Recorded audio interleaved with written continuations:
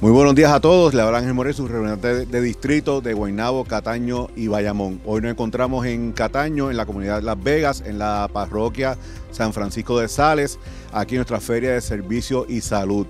Eh, ha sido un éxito total, gracias a todas las agencias de gobierno aquí participando y las entidades privadas que han dado eh, la mano también. Y en particular a nuestro presidente de la Cámara, Rafael Tatito Hernández, por ayudarnos en estas iniciativas comunitarias a través de toda la isla. Así que muchas gracias, lo esperamos próximamente y vamos a continuar trabajando con las distintas comunidades del distrito.